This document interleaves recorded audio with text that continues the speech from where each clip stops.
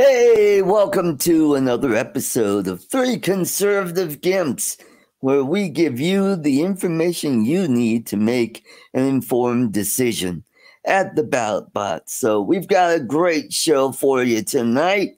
We've got a special guest.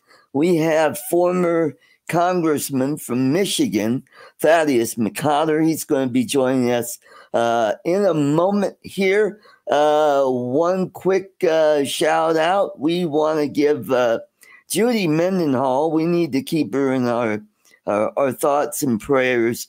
Uh, she's not doing too well, so Lloyd won't be joining us tonight. So keep her in your thoughts and uh, pray for a speedy recovery. So let's get the show on the road. Let's welcome all the way from the blue state of New York. It is Charles Galuski. Welcome, welcome.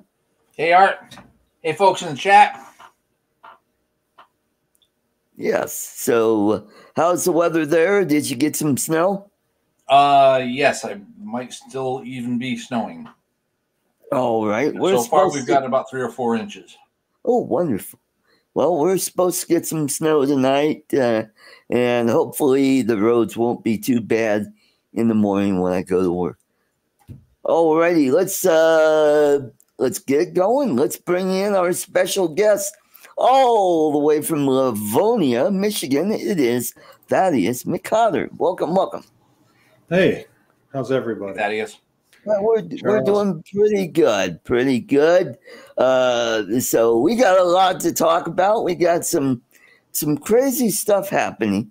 Uh, we've got the Colorado State Supreme Court deciding, oh no, we can't have uh, Donald Trump on the ballot. He he he's caused insurrection, which he hasn't even been charged with insurrection, and uh, so he hasn't even been convicted. So if he's and then on top of that, a few days later, the uh, Secretary of State of the state of Maine decide we're not going to have Donald Trump on the ballot here as well.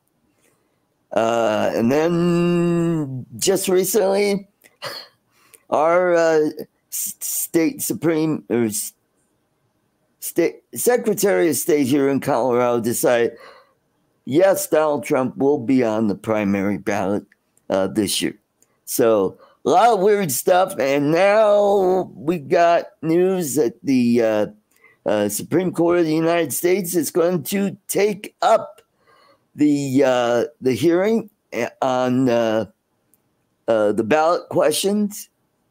Can Trump be on the ballot in, in those two states? And there have been several other states that have been contemplating uh, not putting Trump on the ballot, including Michigan which they smartly said, nah, we're not going to.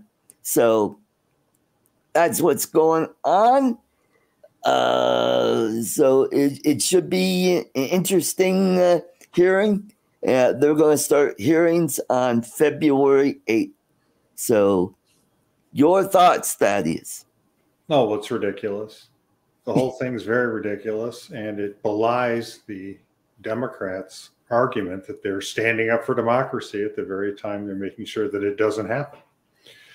Right. It's, un- it's unfortunate, as, as Andy McCarthy has pointed out in National Review. I've had a chance to talk to him a little bit about it.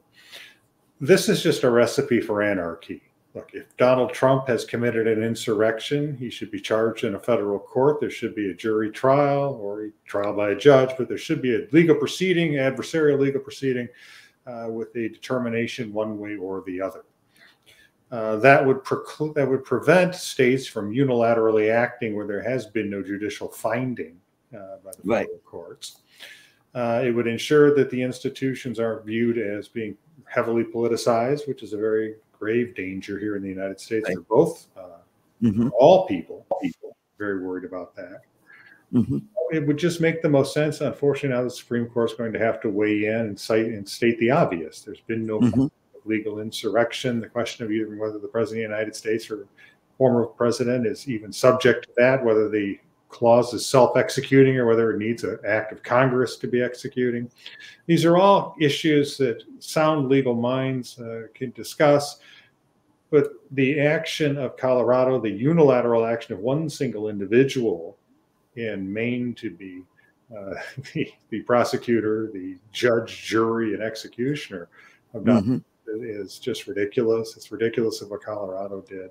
I'm glad to see that the state of Michigan, which is a Democrat majority uh, mm. state mm-hmm. court, at least they were nominated, majority of them were nominated by Democrats.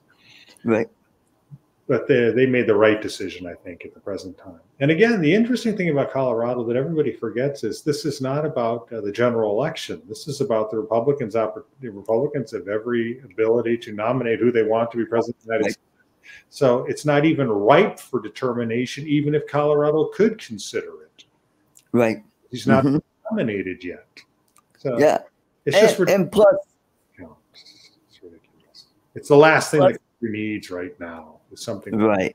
It's kind of ironic because, yeah, to be blunt, I mean, Donald Trump is probably the easiest Republican they could defeat right now. so right. It's ironically self-defeating of the Democrats to do this. So this is a case where this is a case where their paranoia is tra- is transcending their is trumping, no pun intended, uh, their thanks and interests.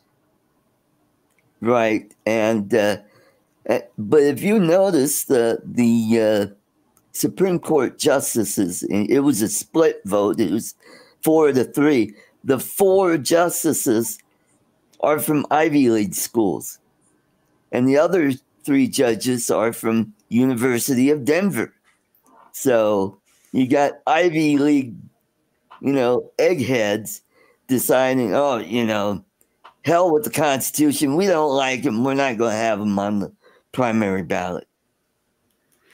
Well, you're seeing what's coming out of the Ivy League these days in terms of anti-Semitic behavior, plagiarism, everything else. Mm-hmm. It's it's very unfortunate, but this again, I mean, we're seeing the institutions in the United States that have once been revered, have once been respected, are now self-immolating. right. on a daily basis, and and the country's like, what's going on? Mm-hmm. And the and the country is tired of chaos Right. And they're tired of partisanship leading to more chaos. Uh, mm-hmm. That's that's the unfortunate aspect of where we are today. People are very, very tired of all this. Right. Mm-hmm. They're tired. They're tired of people putting their own selfish interests ahead of the interests of sanity and the interests of comity here in mm-hmm. the United States. And both mm-hmm. sides are, are very complicit in it. Yep. Yep yes, they are, and uh, uh, and it's not like Trump is going to carry Colorado. I mean, he's not going to carry Colorado because Colorado, like California, is a blue state. So I don't know why the the Democrats are just so up in arms here in Colorado. And and the funny thing about it is the uh, the people that that brought this to this state Supreme Court are Republicans. Uh, one of them is a former uh, state senator Norma Anderson, and a uh, Denver Post columnist Krista Kafer was also one of the uh, the plaintiffs in the suit. So yeah, so they're virtue signaling. They're trying to get clicks. They're trying to get attention. It's again. Mm-hmm they're putting their own personal agenda ahead of the interests of the country.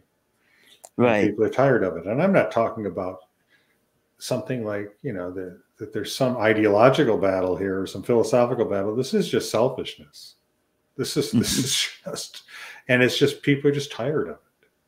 They're tired of it. Do, do, do we, as you point out, do, do, does Colorado really need to take Donald Trump off the ballot to defeat him? Right. mm-hmm. to lose Colorado, I, I, tend to agree yeah. with you. I would not be going to Las Vegas and putting a bet on Donald Trump winning Colorado. Right. Yeah, like wow, he might win all ten electoral votes here. So, so, then why? So why would the judges? They're virtue signaling and they're trying to get attention, and maybe they'll get a mm-hmm. federal appointment from a Democratic president someday based upon this. Who mm-hmm. knows? But the end of the mm-hmm. day, the damage that they've done to the institutional standing of the Colorado Supreme Court, that they that they've done to the Democratic Party, although the Democrats don't quite recognize mm-hmm. it. Some do. Some recognize that this is not this is not inuring to their benefit at this point in time. Mm-hmm. And Republicans also can see that um, it's it's not doing anybody any good mm-hmm. in the long run for for justice to be considered partisan in Colorado any more than it is to be considered partisan anywhere else in the country. Right. And, and to have a ministerial person in Maine unilaterally decide that they're going to determine who's fit to be president on the ballot for a primary or a general election is insane. Mm-hmm. It's insane. Yep. But she runs in a primary. And so the left wing Democrats that'll be predominant in her primary will love her for this. And so mm-hmm. her own personal interest comes ahead of the interest of the Secretary of State's office in Maine, the interest of the country. And that's where mm-hmm. we're at. It's very dangerous, Art Charles, because it, we're a, we're a revolutionary experiment in self government. The first and last line of defense is the ability to govern oneself mm. and, and to understand what's important and what isn't and what you should and should not do. Even if you can do it, does not mean you should do it. Yes, right. Yes. And mm-hmm. so that's where we're at right now in this country. Indulgence over duty, man.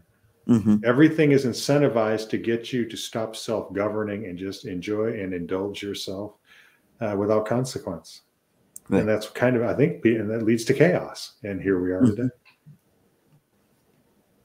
So yeah, it's it's getting to a point where, you know, people are are going to not trust the electoral process because they're going to say, well, why should we vote? Because our my vote's not going to count because, you know, you got, you know, uh, Democrats who want to overturn the process or or make it such a sham that people won't have trust in it. You've even got situations in Michigan which passed a constitutional ballot proposal here that allows private money to go into the coffers of publicly elected officials who count the ballots. wow. and and that's what Zuckerberg that the whole did. idea behind Zuckerberg's that know, is exactly it. So, billion dollars. And so, Charles, they legalized it here in Michigan. The Democrats passed a ballot proposal to legalize it. And so, you want to talk about now? Could you imagine if Republicans had done what Zuckerberg did? Yeah. The oh Democrats' complaints in 2016 that it was stolen would have been off the charts. It would have been on steroids. Mm-hmm. So, so but because they have done it, they think it's okay. Well, once the Republicans start doing it, then everybody will go, oh my God, this was not a good idea, was it? Especially if it mm-hmm. inures to their detriment. All of a sudden, they'll change the rules again. That's that's what they do all the time. They change the rules until it comes back and bites them, and then they change them again until it comes mm-hmm. back and bites them. You know, lather, rinse, repeat. Right. But I mean, putting private money into the hands of people who are supposed to be objectively charged with counting the ballots and allowing them to determine where they will mail things and to enter into agreements and to be able to hire people that are suggested to them by private entities is insane. Right. It dilutes the public confidence in the objective fairness of elections. And I say that even if, if it were Republicans donating the money, I would object to that too. And they will. You watch. You get Right. And uh, here in Colorado, the the Republican Party has uh, uh, sought to immolate itself because you got two factions that don't want to work together to defeat the Democrats, and they're at each other's throats. And uh, that's why we get crappy candidates that get beat by Democrats. And we can't get enough, you know, campaign funds to candidates to help them win. They're doing the same thing in Michigan. The Michigan Republican Party's in, in a very bad state. There's internal right. division. There's contention. There's even talk of the internal argument going into the courts, which I think is ridiculous because you do not want outside entities determining the internal operations of the Republican Party any more than the Democrats would. Right. So we're seeing people who, again, can't can't put their own personal agendas uh, step aside from them and let the let the best interests of the party, let the best interests of the state, best let the best interests of the country uh, prevail. They, they care more about their own personal situation than they do about the situation of the, of the local communities, of the local state, of, of the part of the country. And that's, that's where we are. No one's going to take one for the team, man. mm-hmm. And that brings up another point. Uh, a couple of your Colorado friends here have decided not to seek reelection. Ken Buck is not seeking reelection. And Doug Lamborn just the other day uh, announced he's not going to seek reelection. And uh, Boebert is switching districts. She's going from the third district to the fourth district, which is even redder than her uh, is that, is that is that Doug or is that Buck? That's Buck. Okay. Yeah. Mm-hmm. So yeah, that makes sense look, she she wants to have a safe seat. She's uh, very conservative. It makes sense. She win the primaries. All she's got to win. She's had difficulties, at least in terms of her public relations recently, right. shall we say. And so for her running in a marginal seat, it's a whole lot of work. It's very difficult. And so she much prefer to be in a safe seat. I was a targeted marginal seat myself for the 10 years I was there. So I can understand it. I would never have moved in fact, it's ironic. If you claim to be a conservative, what she's doing is undermining the very constitutional concept of election by district and representing the community. In terms as if every congressional seat is the same. And what does it matter? That's not the case. That's not how the Constitution designed it. That's not the way that. Uh, it's not the way I would think that a conservative would go about doing their business, but uh, that's up for the people of the fourth district now to determine. Right. And she only won by 500 votes in her last election which is why she wants to get into the into the safe seat. Mm-hmm. And she's complaining that Hollywood elites are uh, pouring money into her district, and, and well, I guess I guess they can't pour money into the other one, huh?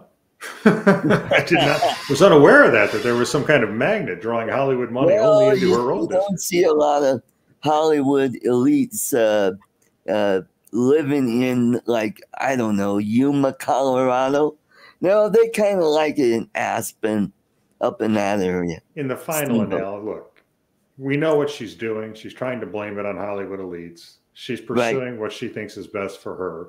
And it doesn't matter whether the Hollywood guys were throwing the money in, if the D Triple C was throwing the money in. She's tired of running in a competitive race and she wants a safe seat where all she has to do is win the primary. Right. I just wish she'd be honest about it. Right. And uh, and we've got some pretty strong candidates in the fourth CD. A couple of people that I know, like Jerry Sonnenberg, he's a former state rep and state senator. I got to meet him when I ran for office back in 2010 and 2012. And uh, he's a pretty conso- uh, solid conservative in his district. And he's a, a rancher up in Sterling, Colorado. So uh, uh, he might be a tough one to beat if he gets enough funding. Uh, it all depends on how how it all plays out in that district. What's going to happen in her old district? Uh, that is another question. We don't. I don't know who was uh, the Republican that's. See, that's the big issue, isn't it? Yeah you're you know you got a nine seat majority or, or even thinner and then she's going to abandon a contested competitive seat right and so so our best candidate would be the incumbent in the competitive seat she's decided she wants something a little greener pasture so she's going to go right. to the fourth district which mm-hmm. leaves her district uh, very vulnerable to be taken over by the democrats uh, right uh, which could help endanger uh, the slim republican majority uh, right. but you know but hey hollywood money hey, whatever yeah Mm-hmm. Yeah, who cares about yeah. the majority when you can get a safe seat?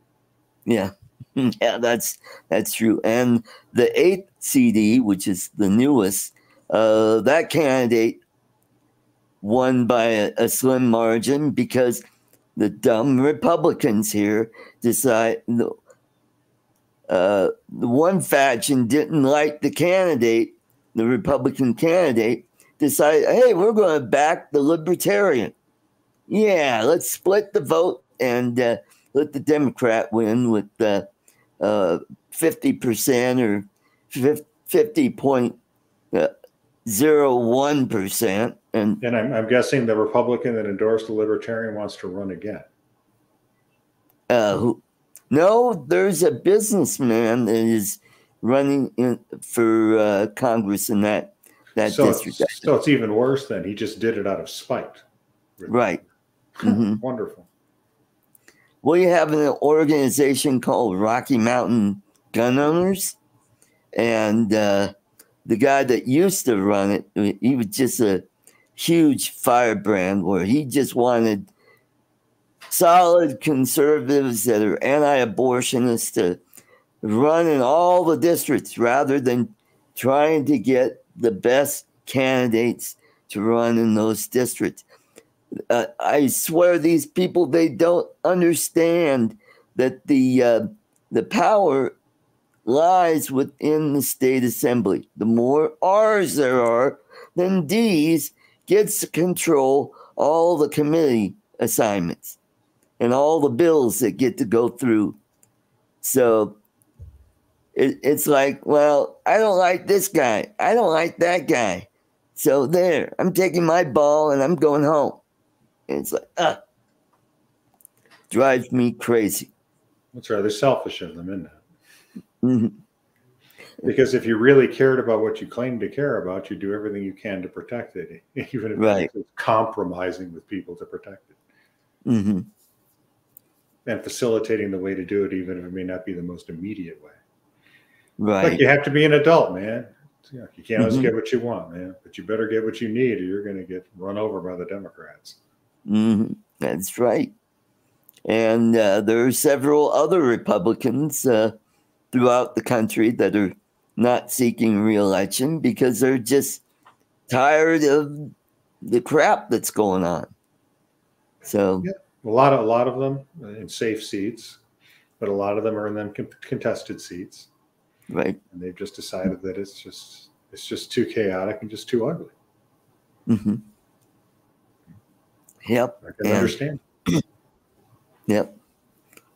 So, uh, it's you know what's funny here in Colorado, there's a couple Democrats that have either resigned after one year into their term, or they're going to not seek reelection because of the vitriol that's going on here at the state capitol because we got some idiot from Denver who's a, a representative who is a pro Palestinian supporter. And you got the Jewish faction of the, the Democrat wing. They're all up in arms because, you know, we got our own Rashida Tlaib here in Colorado. And, and uh, and and one of one of the Democrats got censured because of her anti-Semitic remarks in the Capitol chambers, which is and, and like in Michigan, you got Rashida Tlaib censured from Congress. Who see, I'm I'm very I'm very wary about congressional censure over public statements, over what a member says. I think that's for them and their constituents to hash out what's acceptable, right. what's not, so they mm-hmm. can throw. So you can either be reelected or not, because you're supposed to speak for the district. Rashida Tlaib's my member of Congress. Obviously, we don't agree on anything, right? Much. But I agree with her right to have her free speech. I agree with her right to put forward her position. And mm-hmm. so when Congress can censor you over one thing or another, unless it's patently racist, and even then, that's between the constituents first and foremost with the mm-hmm. individual. Mm-hmm. Because what, what you consider acceptable, uh, something acceptable to talk about, let's say I deny climate change. Right. And all of a sudden, a Democratic House, U.S. House decides you can't deny climate change, you're killing people. We're right. going to censor you because of your political mm-hmm. position on climate change. Right. And your misinformation and disinformation and you could just you could see where this is going to go right mm-hmm. the silencing of one's political opponents now the left loves to parse and to thin down your constitutional right god-given right to free speech they can't stand mm-hmm. it because their their policies are terrible And when you point out the truth about their horrible policies and their horrible positions and their horrible ideology, uh, they don't seem to like it very much. So they try no, to silence you. But they will use any tool that is possible. So while mm-hmm. we may like the fact that they have censured somebody like Rashida Tlaib or censured somebody like that representative in Colorado, once once you start this, eventually what goes around comes around, man, and everybody's tired of what's going around. Mm-hmm. Except for the people who start who, who use it late, who you who last use it, seem to think it's okay until it comes back for them. But everybody right. else is just tired of it. Mm. You know, I can live with people having a political opinion I disagree with. Mm-hmm. Quite content with that. Yeah, and I think the the la- well, the person that got censured before this would be Paul Gosar of Arizona because of a stupid cartoon they posted in uh, on social media. But before that, you'd have to go all the way back to the Civil War when the last time somebody was censored. Yeah, it's, but it's going to get worse, and they're going to. Yeah. It's, it's going to get worse, and it's going to impede the ability for people to talk about things. Right. Mm-hmm. And if you can't talk about things, no matter how unpleasant they may be, it's just going to get worse. Things fester. Right. And things boil over, and things become far worse than they would have been had you been able to talk it out and get it out of mm-hmm. your system, and then move forward. Mm-hmm. Oh, that's, that's well, I, what worries me is how the left have gotten so unhinged that they're so afraid of Donald Trump. Say he happens to win the election. I'm worried that some lunatic is going to succeed in taking care of what they're going to do is you'll probably see akin to what they did in 2016. You'll also see some of what you saw in 2020 uh, with some of the some of the public protests, and you'll continue right. to see more of that uh, civil disobedience, right. all because they started to believe their own paranoid, independent uh, narratives. Mm-hmm. So when all you have to offer the American people is paranoia and independence, so that you can accomplish your aims uh, eventually you start to believe it yourself. Right. If you look right. at if you look at what the left is doing through the administrative state, the the impact upon individual freedom, the impact upon liberty, the politicization of justice, the weaponization of the tools, surveillance powers, and the Department of Justice, the FBI, and others, you can realize that what the Democrats claim it could be done by Donald Trump to democracy, they're actually already busy doing it themselves. What the right. left does is the left projects its sin upon its victims. Right. And that's how they sleep at night, and that's how they justify it to themselves. Mm-hmm. There's nothing well, to do with yeah, but they but they but everything they accuse you of doing, they're busy doing themselves. Yeah. Well, I I'm just worried that somebody might try to. I, the hell with YouTube.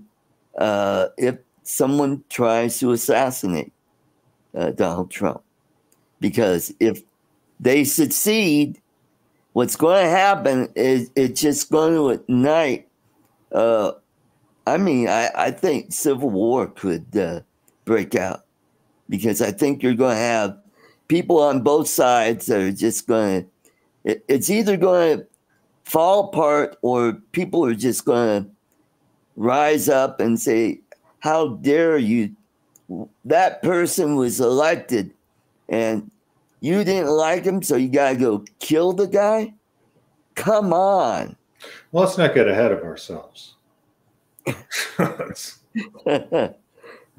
okay, Donald Trump, 78. He's, he's in fine fettle. He's in fine health. He's well protected. Right. Uh, so is Joe Biden.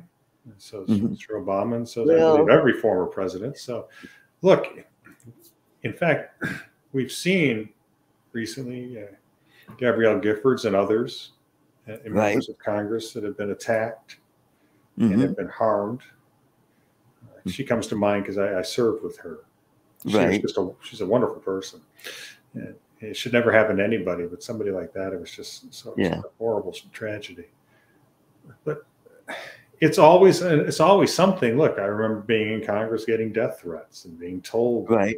Were offering. Mm-hmm. In fact, I was told that uh, someone was offering money if they would kill me, and I think there were some other members that they were offering too. And I said, uh, well, "How much are they offering people to kill me?" Yeah. You know, I'm Irish. I want to know. Yeah. yeah. And they said like, he's offering thousand. How no, come I'm so he, cheap? He said, I'm offering four thousand they're offering four thousand dollars to kill you. And I was oh. like very I was very upset. Four thousand dollars seems yeah. relatively low. Yeah. Know? I mean, back then, I mean, granted, there's a little more purchasing power you know, 15 years ago, but still, yeah, mm-hmm. I was, I was, I was thinking at least five grand to kill me. Yeah, there you I go. Was thinking, yeah, or or yeah.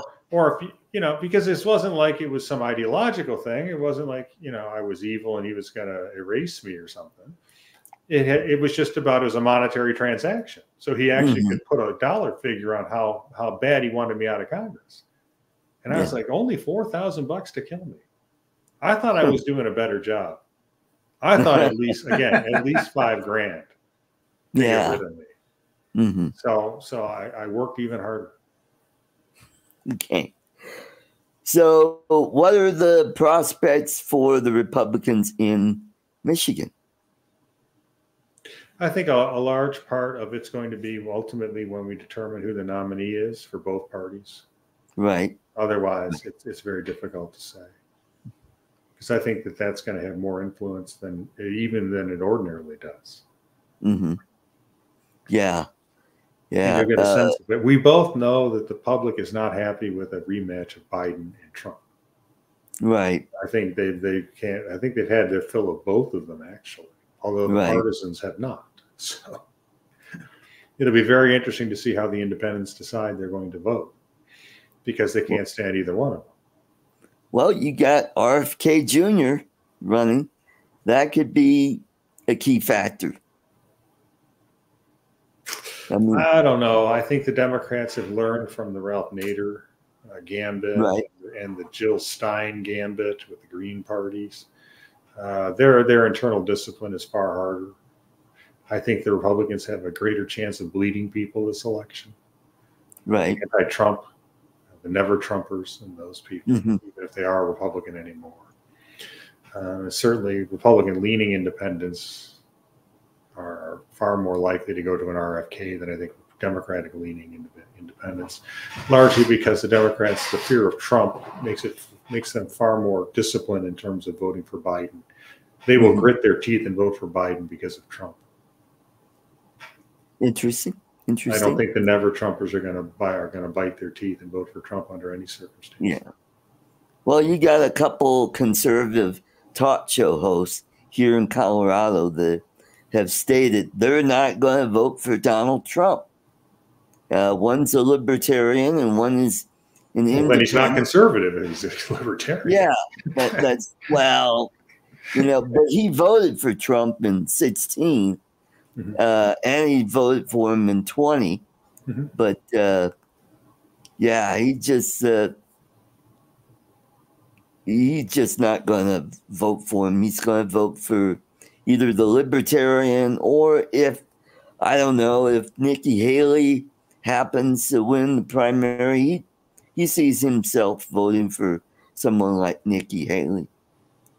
So, well, uh, I don't think, I think whatever one thinks of January 6th, um, I think that that has taken a toll on a lot of people's support for Trump because right. even if they don't think it rose to the level of an insurrection, they certainly think it was stupid, selfish, and a blunder, and it cost us two seats in Georgia in the U.S. Right.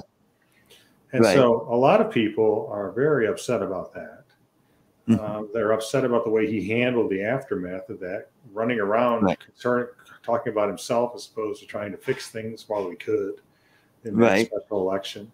Uh, mm-hmm. Running around, not laying the groundwork anywhere else for 20 2022 or 2024 because as I said, the, the, constitutional changes here in Michigan on the voting laws and things like that were mirrored in a lot of other states. There's been a lot of mechanical work done by the Democrats in terms of getting out the vote, in terms of ballot harvesting and others in other states, mm-hmm. marginal swing states. The, the 2022 elections were not beneficial to Republicans. Mm-hmm. And so we've seen that, uh, that that type of chaos and that type of inattention to the very details you need uh, on the mechanical end to get elected uh, has put uh, has, has cast doubts in a lot of people's minds who voted for Trump in 2016 and 2020. Mm-hmm. So there's a whole lot of other reasons other than the fact that uh, the fact that the left despises Donald Trump is probably his greatest asset in terms of getting the Republicans to vote for him mm-hmm. in the primary. Right. Because it proves it you're hated by all the right people sometimes is is a critical factor in winning a primary right? Mm-hmm. As opposed to being loved by all the by all the wrong ones too. Mm-hmm. and, and what gets me are these Republicans that are whining about ballot harvesting.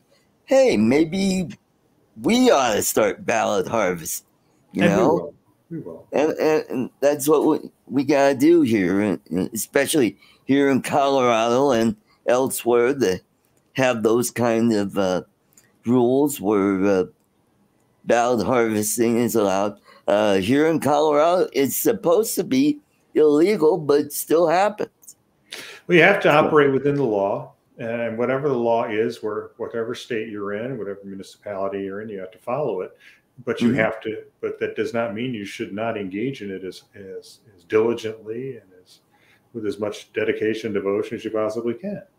And that's right. why the failure of the parties in places like Michigan, the failures of the party in places like Colorado are so uh, are so damaging because they're the very people at the grassroots level that are supposed to be working on this in conjunction with the national parties. They're the first line of defense uh, to making sure the swing states don't go from purple to blue. Right. actually go from purple to red. So we're not seeing that. we are not witnessing any of that and I think a lot of Republicans uh, are very upset by this, and they're very upset by the role that Donald Trump has played in this, or absence of a role in right. helping to ameliorate some of these problems, or at least address them, mm-hmm. instead of just complaining that the election is rigged. Because you know, okay, if they if they rigged the election in 2016, you won. They rigged the election again in 2020. This time you lost. Uh, they're rigging it again. So what's different this time? How do we That's know true. you're going to win this time? Mm-hmm. Right. And then, but again, you would be able to say, look, we've done X, Y, and Z in these swing states. The parties are strong. We have this. We had a good election in 2022. Things are moving up. None of that's mm-hmm. really happened, has it? Right. We we squeaked out the the one thing we needed the most uh, in 2022 was a Republican majority in the House, and we barely got that. Right. And yeah. Everywhere else, we got swamped. Right. Then you had uh, the squabble with the McCarthy. He got thrown out. Now he's taken his glove and gone home. And well, that was a, that was a big factor in the 2022 because that all happened prior, right prior to the election. Mm-hmm. Right. You know, these and, types of things don't help. I, I, mean, 2023. They happened prior to the 2023 midterm elections in places uh, in some of these states where we got swamped again. Mm-hmm. So in the 2023 election, this type of dysfunction and chaos amongst House Republicans was a factor in some of these losing a lot of the statewide seats in the states that have elections in the odd years. Mm-hmm. So again, and, and state Supreme Courts as well. Right. So mm-hmm. we lost the Colorado or Wisconsin State Supreme Court race. So they're going to go redistrict Colorado, which will have a detrimental impact upon the House majority. Right. So these types of things, none, no one is really doing much about these types of very basic bread and butter, meat and potatoes, mechanical operations that are supposed to be being done by the RNC, the NRC, right. the local parties. Instead, we're discussing how many, you know, how many leftists can dance on the head of a pin. Uh, and as we stick it into Nikki Haley or, or DeSantis and call them rhinos. But nobody's really doing anything about the things that matter. Right. To winning in right. 2024. Mm-hmm. Well, here in Colorado, in the last 50 years, we've only had one Republican governor who had uh, two terms, and he did put some conservatives on the Supreme Court, but ever since then, all the Democrats, those Republicans either retired or uh, decide not to be uh, on the Supreme State Supreme Court, got replaced with Democrats. And uh, here in Colorado, we have a retention process, which uh, now I, I just find pointless because the person that gets replaced is just going to be replaced with another Democrat. So it's just so what's the point of uh, not retaining a state uh, Supreme Court justice, which when that person's going to be replaced with another Democrat, it's just not going to be any change at all. You got to win a governor's race. Yeah, that's right. That's right. And, and, we got like such a dysfunctional uh, Republican Party. Now the Republican Party here in Colorado has 24% here in Colorado, where the Democrats are, I guess, slightly over 30%. And then the rest are unaffiliates. I mean, they take up like uh, 40% of the the uh, the voters are unaffiliates, and it's like, it never used to be like that. It used to be a third, a third, with, with the Republicans slightly ahead the Democrats, and now uh, with the the infighting, a bunch of Republicans are saying, "Screw it, I'm uh, an unaffiliate now. I don't want to mess with the party, so I'll vote for whoever I want." You know. Well, they, they can do that anyways. Yeah, uh, but I, I, know what you're saying. Party registration's down. It, it's it's a drag. Mm-hmm. And we're going to see some of that in Michigan too. Also, with Michigan as an older community, we're seeing a lot of Republicans leaving the state to retire in warmer climes. Right. Uh, that's mm-hmm. part of what's been going on here. Mm-hmm. So that also leads to, to more Democratic victory, but it also leads to some Republican successes, depending on where they move to. Mm-hmm. But in the final analysis, look, if you put forward a winning message and something people that like and it's a palpable benefit to them, they'll vote for it. Right. So life is very simple. and, so, right. and if they don't like it, they won't vote for it. Americans hmm. remain a very practical people. Right. And I and I think, you know, I mean Republicans I remember back in the 80s, there was there was a thing called the, the Bookman. I think it was put out by Hillsdale College. And one of it was a, a, little conservative quarterly that they would send to people for free. And the headline, this is it said, it was a whole our whole magazine. The topic was America's decline. Right. It came out in 1984. Interesting. During the peak of Ronald Reagan, as the Soviet Union was about ready to go on the ash can of history. Mm-hmm. Republicans tend to focus on the negative so often. Mm-hmm. And when you think about it, our greatest president of my lifetime was a Republican named Ronald Reagan. Right. Mm-hmm. Who was noted for his optimism and faith in the American people. Right. Right. So right. Uh, that's where we need to go, people. It's, it's not that mm-hmm. hard. And so mm-hmm. when, when Republicans running around talk, start talking about how bad things are, how kids are horrible, and all these low information voters, why would you insult anyone you want to vote for you? Right. That's true. It's would you true. would you walk down the street going, "Hey, I'd like to borrow five dollars from you, you total idiot"? yeah. No, I don't think you want to do that. Well, so Republicans got so there has to be kind of a change of mindset here on Republicans, and mm-hmm. I don't think, to be blunt, I don't think Donald Trump's retaliation tour is actually, you know, his revenge tour is actually something that a whole lot of Americans are really going to respond to. Right. Mm-hmm. We're an aspirational, inspirational people. We're not. We're not a vengeful people. Mm-hmm. I will be your tool of retribution. I think Trump promised. I'm like, that's not what I want to promise. It's not a president. I want a promise. I want from a president. Right. I don't elect you to serve as my retribution here, Tiger. Right. Yeah, Just I you know, just I want- could be on the list. Right. Yeah, I just Yeah. want a president that'll give us a good economy and a, a stable planet that's not warring. Protect, protect the Constitution from all enemies, foreign And and, domestic. too. Provide for the common defense, Mhm. and, and allow the free market to run. hmm And let, let let Americans be Americans. Let us pursue our Mhm. happiness and get out of the way. Yeah. Yeah. Mhm. I think a lot of people appeal with that. I think a whole lot of what the Democrats are doing, they're getting away with because because of the because people have made up their mind about Trump, and I think they view Trump as a hall pass to engage in all types of chaotic, injurious public policy. Right. And and the minute Trump's gone, people are going to go, okay, we're done with you now. Mm-hmm. But it's true. I think that's I, I really think that that's that's what they're doing. And and look, I look if Trump's the Republican nominee, I'll vote for him. Right. Hmm I'm a Republican. Okay, if the party says, you know, I'm not going to take my ball and go home because it's, the stakes are too high, hmm and, and even in, in whatever you think about Donald Trump, if nothing else, at least stop the insanity that's coming out of Washington D.C. right now. That's true. That's true. And and that's about all I expect from him, anyways.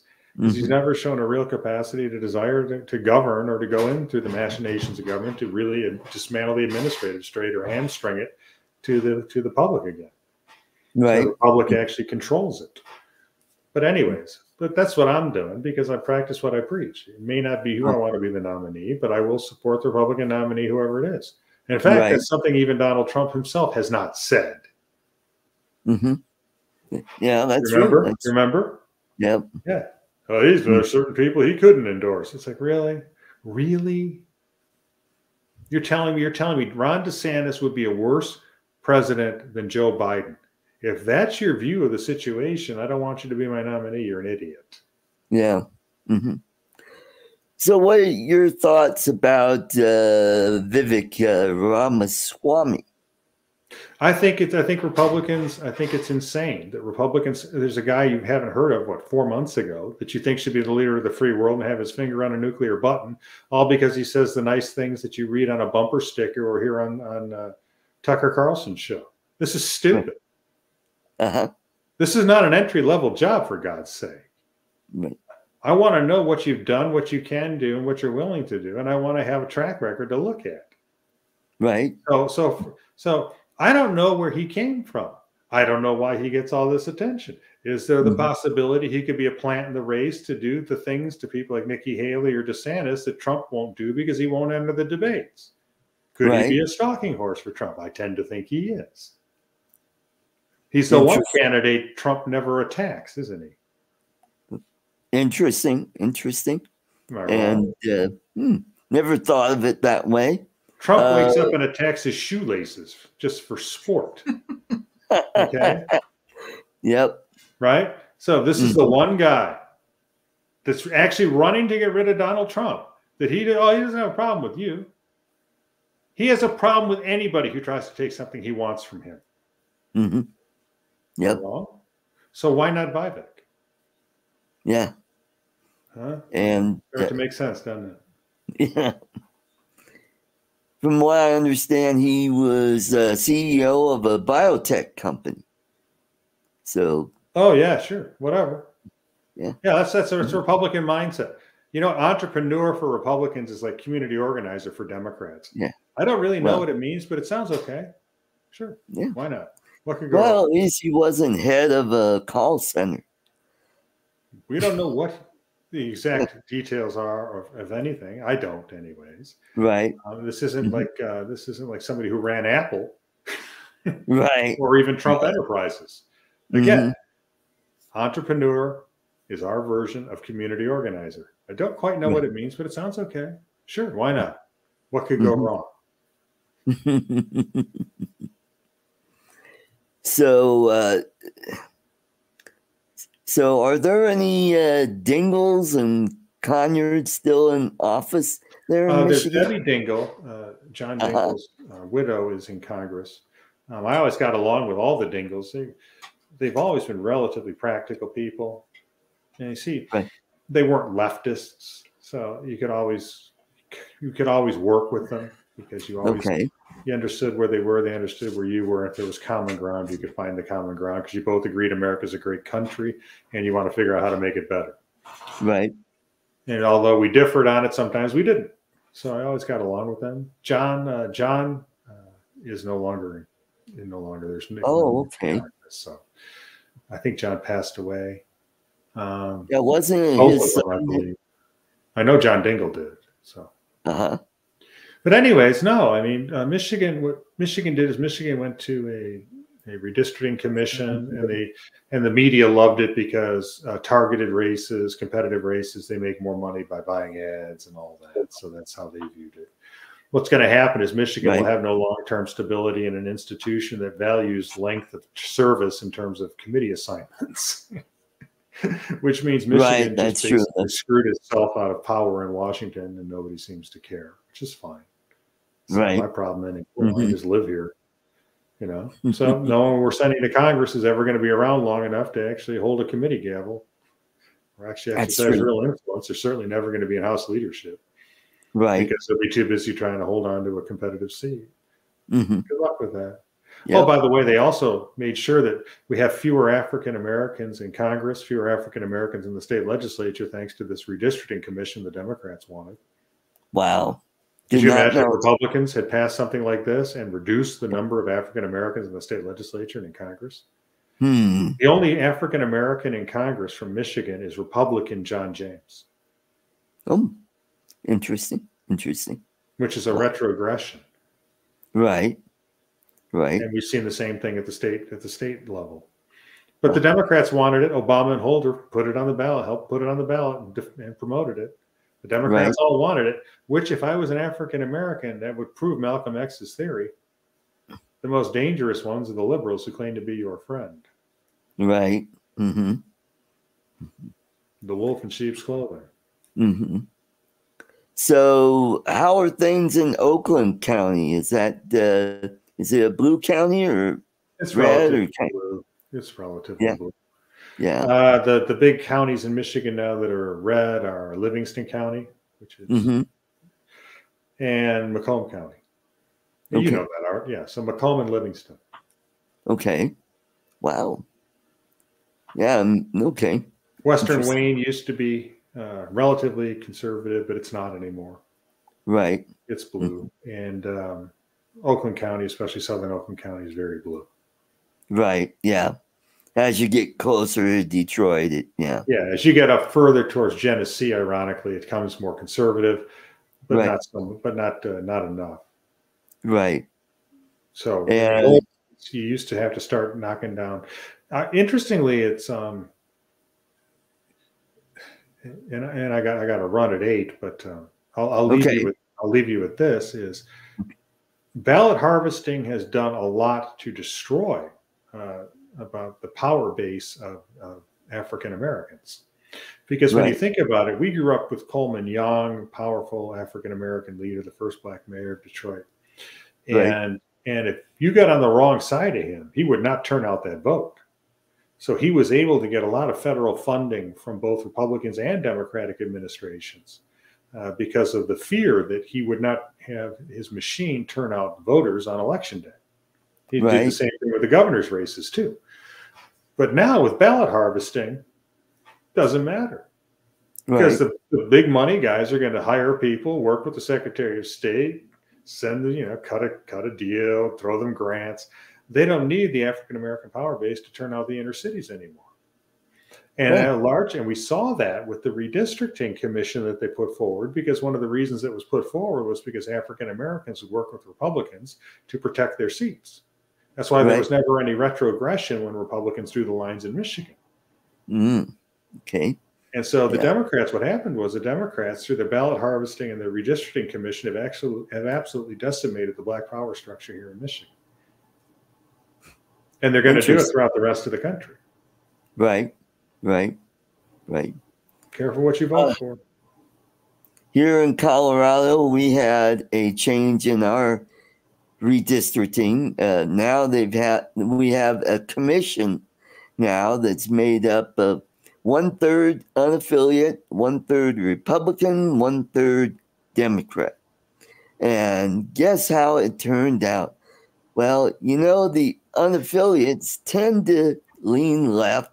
So the Democrats still got their maps that they wanted. Maybe not all of what they wanted, but they How did the unaffiliates get there? Uh, well, no, what probably selected by Democrats that were probably former Democrats that uh, uh, the Yeah. the Our, re, our, our, our nonpartisan redistricting committee was chaired by a Bernie Sanders guy. right. Mm. Oops. Whoops. How'd that Yeah. happen? Oh, whoops. Go figure. All right, Thaddeus. Uh, it's uh, top of the hour, and uh, looks like you need to to go. Uh, you have go. a People have been saying that for years. My best to Judy and, and Lloyd. I'm sorry to hear about that. yeah. She's not doing well. Yeah. So yeah, she just had a bad night, didn't sleep well. So if she's not sleeping well, Lloyd's not sleeping well. Right. So I hear you. I hear you. so you have a great evening, and uh, don't be a stranger. We'll have you back uh, soon. And Look forward. uh, all right, Charles. talk to you later. Good night. Good night, All right, Thaddeus. guys. End the stream.